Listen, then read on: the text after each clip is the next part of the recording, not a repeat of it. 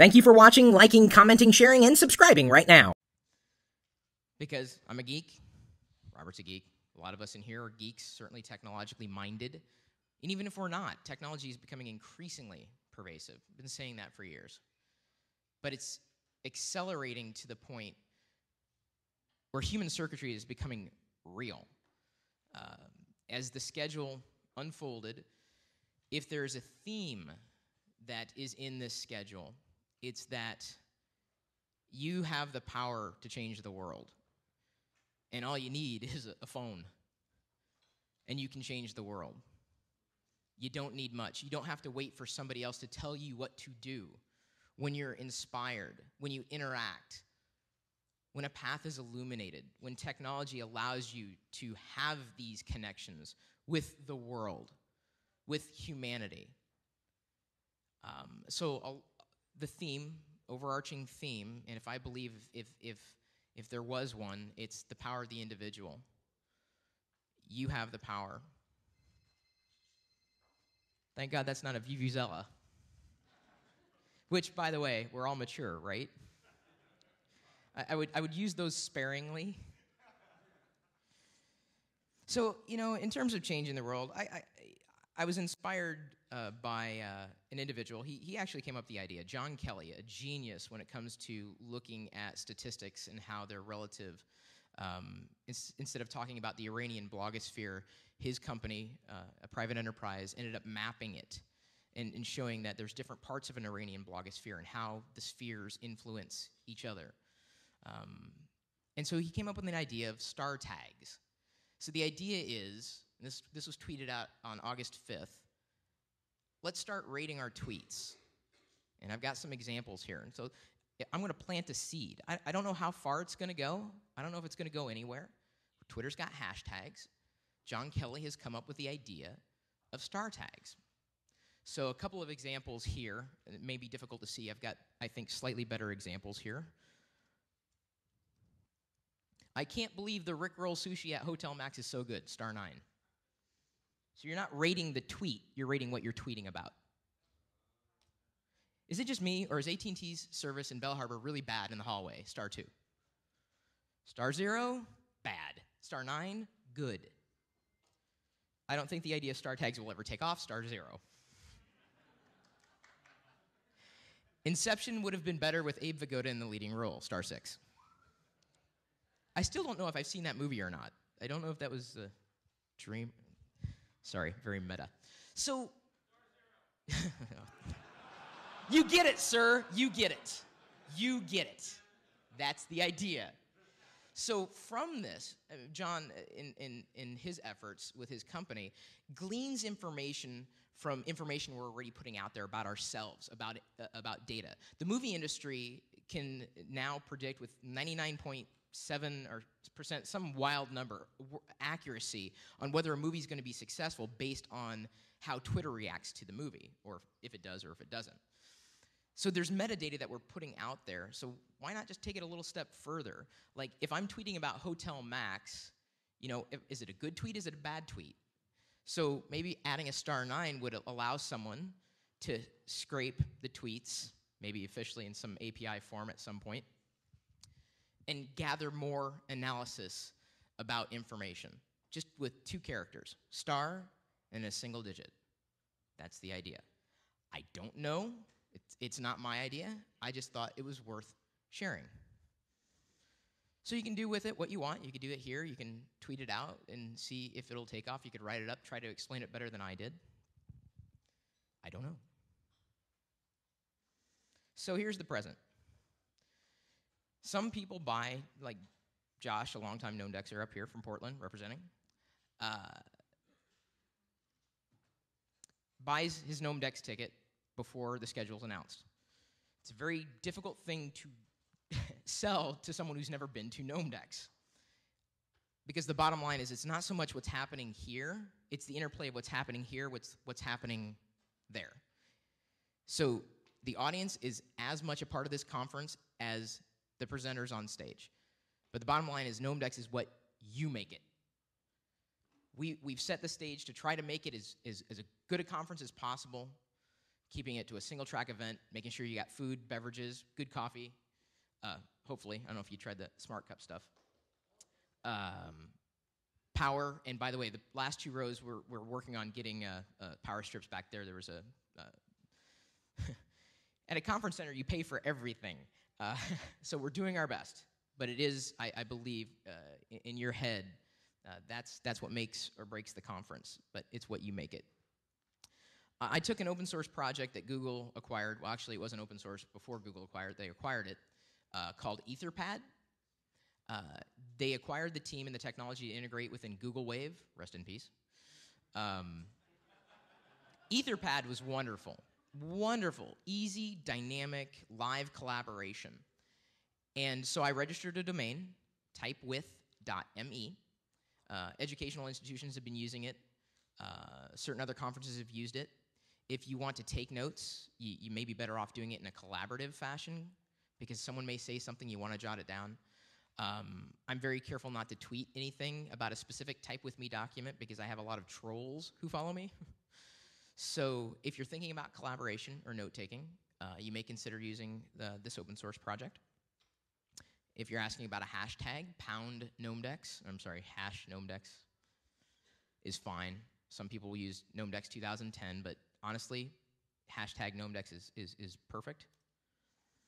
Um, this is uh, another thing I want to uh, remind everybody about. It wasn't clearly communicated last year, but uh, if you parked over across the way, we can get you a slight discount for parking, get a voucher out, uh, I think at registration or somewhere out there. Um, I think $10, and we're pretty much cutting it to cost. Like, it, it would normally be you know, more than that if you're parking there all day. So we're trying to save you money, not making anything from it. What's that? No, no, no. You pay when you leave. I don't know where you parked, but this is specifically for the garage over across the street. you can move your car too. I mean, we'll have breaks. Uh, live video feed is on gnomedex.com. Now, there are some conference producers who will charge for a live video feed or even the recorded videos. I don't believe in that. Never have. Um, I, I, think it, it's just goodwill to the community, and I also have said the same thing for years. Whatever you guys record, photo, upload, I don't care. It's not going to go through some screening process. What happens at GnomeDex stays with the world. So just be just be very mindful that you know taking someone's photo uh, it's cool usually but make sure you get permission. Some people don't want to be photographed they're not comfortable with cameras. I, I don't think that's an issue here uh, but you never know. Uh, another thing that's happened in years past uh, when there's been uh, something happening on stage and people are kind of empowered and they feel like they want to band together and help whatever efforts on stage, they'll pass around a hat and collect money. Let's try not to do that because it just creates this awkward, you know, moment for someone who's like, well, I wasn't going to donate, but then they feel a pressure to donate. So if you're going to do it, make the gesture online, do it personally, and that's fine. But let's not apply any kind of social pressure to, to people in the room. Uh, another thing I want to note uh, the, there's a hackathon on Sunday at uh, the Edgewater, uh, like right across the, the way, just right around the corner. And uh, the future of GnomeDex, it is true. This is it. Uh, sorry, can't do it again. it's, it's really more a labor of love than anything else, and without key partnerships in places in a company that will do it, it's not going to happen. So 10's a nice round number.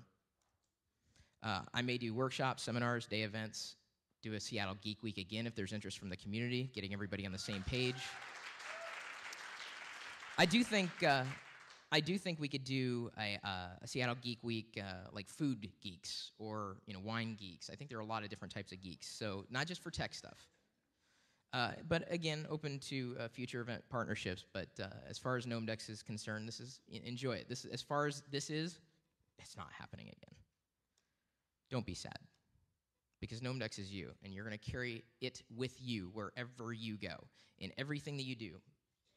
Hopefully, uh, something will spark your attention and make you realize that you do have the power uh, to do things to change the world. Um, now, uh, I'm not going to, I think I'm running a little over, so I'm going to skip a couple of uh, uh, other announcements at the moment because I think I got everything pretty much covered. Other than, real quickly, Mom, my mom, my parents, who have been staples for Gnomedex uh, for pretty much all 10 years, has collected a scrapbook of all 10 Gnomedex memorabilia. Uh, and Beth Goza, who has been coming to Gnomedex since 2002, framed her Gnomedex 2002 poster. kind of nice. Thank you, Beth.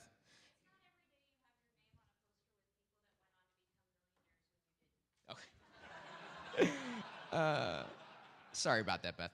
Um, the uh, and, and, and, outside the front door, uh, you saw some uh, paper, uh, like whiteboards. We're gonna do kind of a bar camp style thing. Like if you had 10 minutes to spend on stage, what would you talk about? Uh, don't write your name on there. I'm not interested in the names. I'm interested in ideas. Uh, and then we'll kind of go through it. And when we have an extra hour here in the day in the schedule, we'll have some of you on stage. So I guess with that, could you go ahead and freeze the screen? Um, Thank you. Sorry, I'm gonna. That's not live. I'm just switching over to our keynote presenter's keynote presentation. Uh, Brian Solis uh, has been coming to Gnomedex for a variety of years, or a number of years, and so I guess I've known Brian for a lot longer than most people have known Brian, which is cool. Um, and so it, it, really didn't take much for me to recognize that Brian's really been doing good things and inspiring a lot of people. Um, and, and, that's, to me, that's, that's good Gnomedex keynote material. And so if you're in the world of social media, I would be surprised if you didn't know who Brian was, because if you didn't, then you're not in social media. Uh, it's true. It's very true. And so uh, I was very grateful when uh, Brian decided to fly, I think you, somewhere in South America, Brazil, all the way to Seattle to uh, do Gnomedex. That was a, an honor. And so it is an honor to welcome Brian on stage to uh, give us a good uh, kickoff for Gnomedex 10. Brian? You want this mic? Or? Yeah. Well, good morning. Uh, I have to say that um, this is actually uh, a real big emotional uh, experience for me. I have uh, been coming to Gnomedex for a long time uh, as an attendee, as a paid attendee, because it was the only conference that I felt every year that I could get value, that I could learn something from not just the people on stage, but everybody here. Uh, from the conference to the, the drinking, the late nights. Uh, I always walked away with something really special. And so I wanted to talk a little bit today about what Gnomedex means to me, what I take away from Gnome Gnomedex, and also as an homage to all that Chris has done for all of us. Over the years, I tried to document everything I could, both you know, in my mind, in blogs, in tweets, through pictures. But if the elite have TED, the geeks have GNOME Gnomedex. And this is, this is our moment. This is a real wonderful time in history where we can actually define what happens here in the future. And so some of these pictures here are moments that I just can't forget.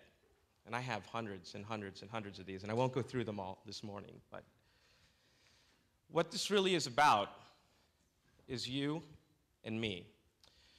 And what the web is doing is not just allowing us to communicate, it's not just allowing us to tweet our thoughts or experiences. We're actually defining a whole new era of society. As Chris calls it, the human circuitry. As Cisco calls it, the human network. We're actually building something that, as Chris calls it, the narcissism, or as I call it, the ego system. How many of you guys have heard of this movie, We Live in Public? Yeah, Josh Harris's very awesome experiment, showing us what's possible when we become the stars of our own reality series, because that's what's happening. And so, for those who know Jeff Jarvis, he's writing a book about privacy and publicness and how privacy is now scarce and publicness is now abundant. And so, for you in the room, I'm actually speaking, hopefully, at the same time through you to the people who are connected with you. Because you're here for many reasons. One of the reasons I'm here is to help educate those around us and help them educate those around them who are using the web who are not quite realizing the true power that's at their fingertips. with everything we do, we cast this idea of digital shadows, right? Every post, every tweet, every picture, every flip video that you film of yourself, like the Blair Witch effect, where it's just completely shaking and people aren't quite sure what they're watching. Those things are there for everyone to see, and they're there for everyone to find. Good humor slides there. he took it literally. but then we complain. Not we, maybe some of us, but those that we know, those that we read about, those who are in the news, sensationalists, how Facebook is invading our privacy. Yet you're the one sharing willfully what it is that moves you, what it is that you had for breakfast, the fact that you're at the gym, what you had for lunch. We are the last generation to know privacy as it was. If you think about that for a second, that's transformative, that's powerful. And so each and every one of us have this opportunity and obligation to sort of help those around us. Because now, privacy, think about this for our children and our children's children, privacy is something that's going to have to be taught now. What you share online, imagine, there is no such thing now as common sense. But do you really want privacy? I'd argue that part of the beauty and magic of socialized media is the ability to sort of earn a reaction, to earn a response, right? Isn't that why you tweet? Because you want to see what someone says about your thoughts? You share your ideas through blog posts because they're yours, and you want to see how the community embraces them or takes them further. But I would say this who you are today and who you are tomorrow might be coming to a crossroads soon. Because there's this idea of the brand you and this brand that you have to represent. There's this famous saying everyone has uh, three lives a public life, a private life, and a secret life. And which one are you broadcasting? Which one do you want to broadcast? If someone were to search Twitter or search Facebook or search Google, what is it that you would want to be defined by those search results? How is it that you would want to be viewed? What is it that you would want to paint in terms of that portrait when you're not there to explain yourself to those results? I believe that social media is actually an earned privilege. Just because we have the right to tweet or the ability to update our status in Facebook doesn't necessarily mean that anyone is going to give a shit about what you're, you're thinking or saying. That's trivial, right? Anyone can do that. You in this room, you guys are the ones defining the future of all of this. You're the ones who have forced innovation in all of these tools. Many of you have created them. It's changed my life. It's changed your life. It's changing everyone's life. This is a privilege. It's much more than these conversations.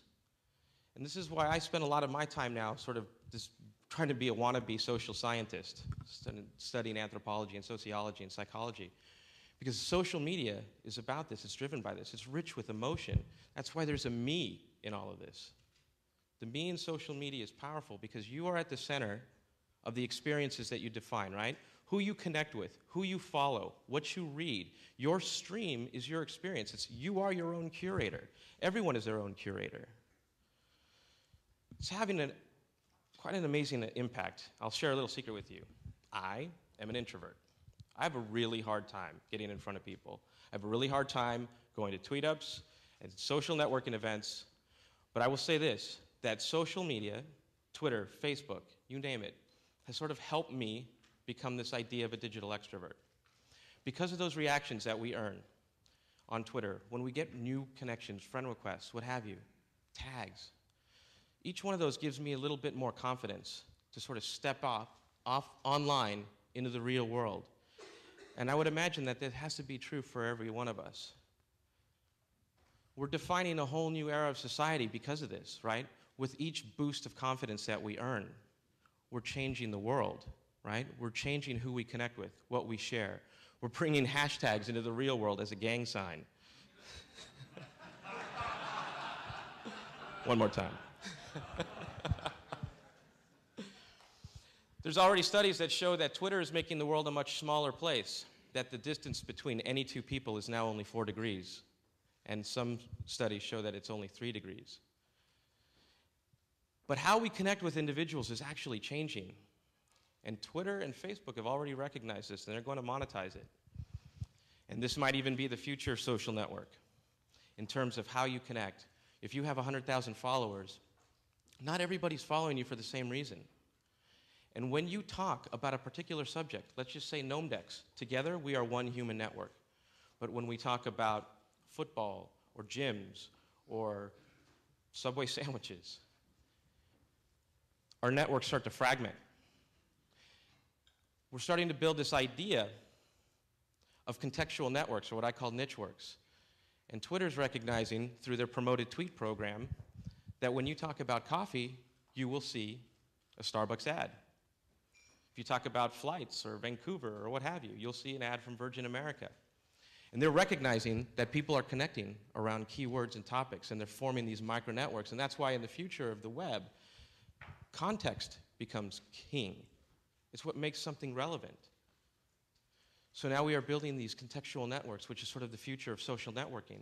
And they're different across the board. Depending on the subject that you talk about, they form this idea of relations versus relationships, right? Everybody talks about how social media is about relationships, but I don't see myself sending birthday cards to every single one I'm connected to. I don't check in with every single person individually, but I do check in with the idea of those that I'm connected with. And so I think we're also grooming this idea of relations over relationships. How many of you guys heard about the Dunbar number in anthropology? Right? I think it's estimated at somewhere between 130 and 150 people we can maintain a relationship with. Do you know that the average person on Facebook has 130 connections? But I believe what I call social graph theory, because we are learning this idea of digital confidence, if you will, that each and every year, that number I believe will double. Because we're starting to grow our networks contextually, because we're curating our own experience. We're connecting with those people who we know, but also those who we don't know, would like to know, admire, respect, want to learn from. And so this is where things become really important. Because how we connect online, what we share online, is sort of equating to this idea of social currency how you behave, who you talk to, who you reply to. People expect to sort of be acknowledged and recognized. And this whole concept of like.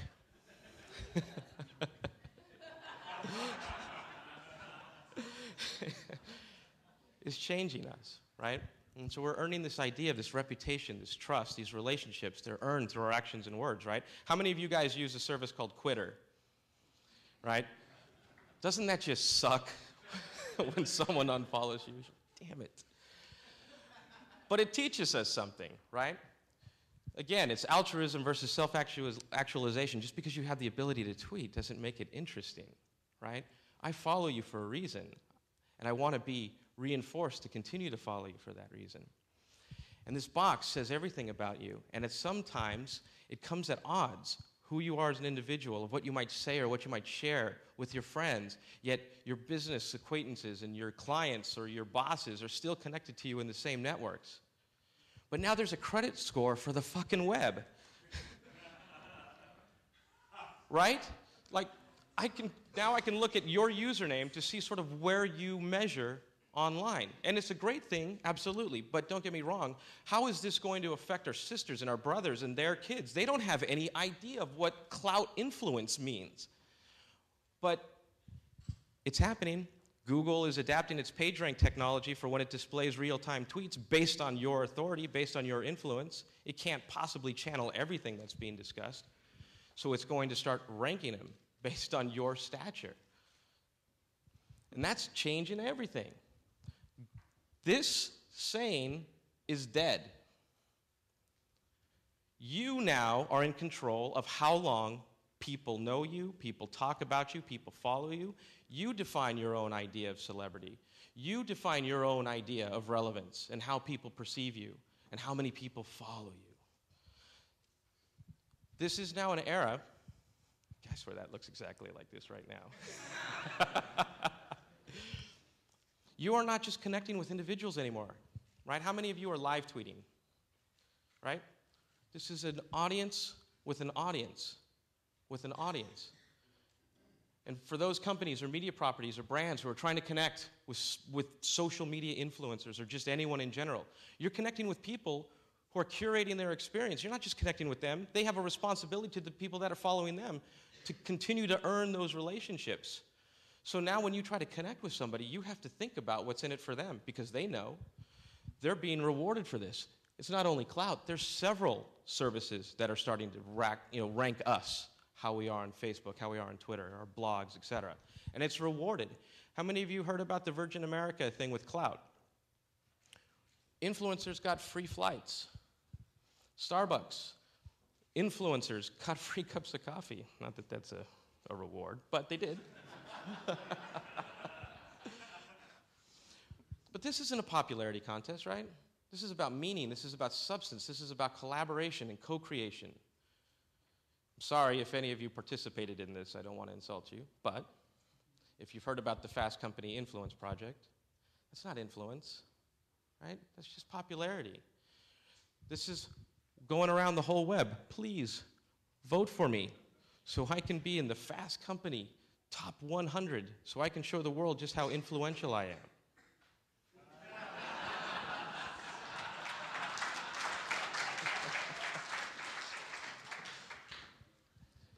you are more influential than you know, and you don't need that contest to prove it. This is influence.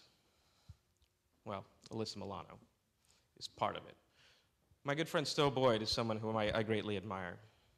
And he talks about, with all of the discussions of Twitter and Facebook and how it's changing the world, that one thing we have to keep in mind is that we make it come alive. We make it rock. You make it rock. That's why I go there every day. You're the ones who set the new trends each and every minute.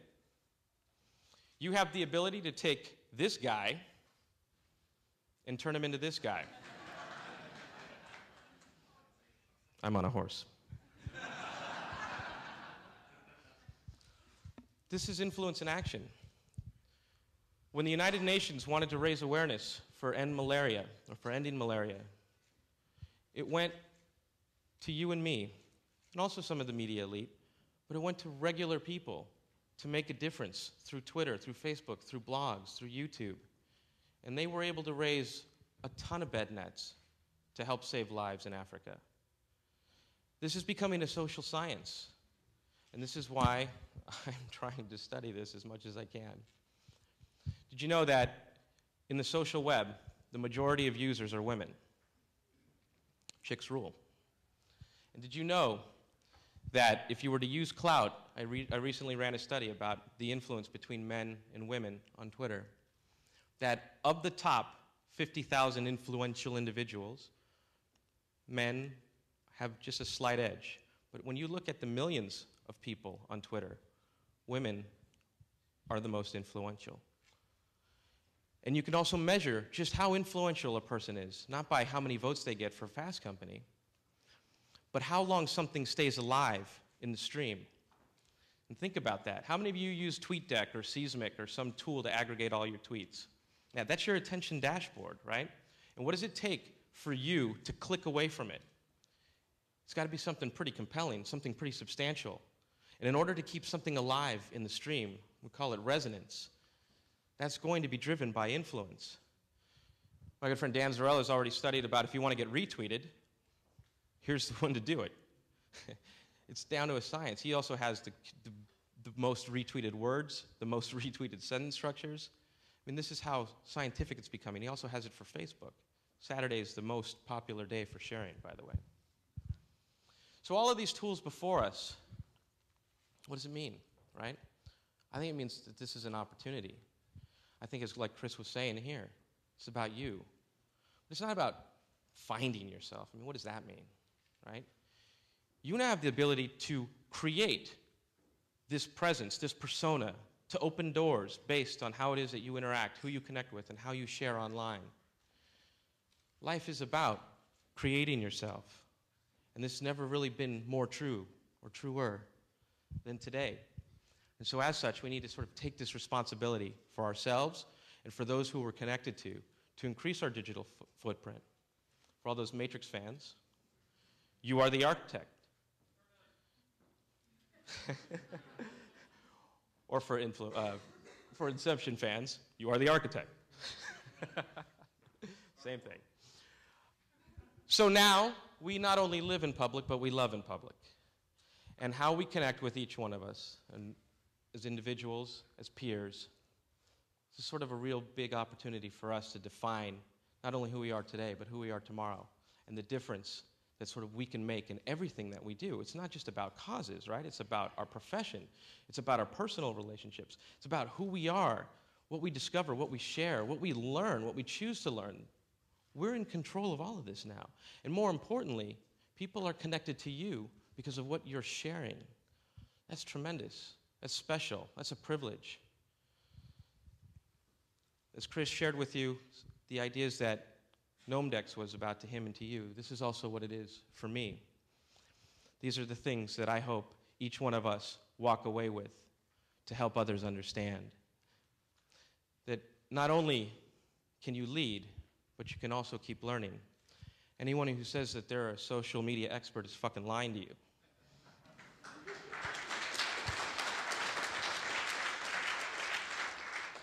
We're forever students, but we can still share what we're learning. So please do us all a favor and keep Gnomedex alive in all that you do. Thank you.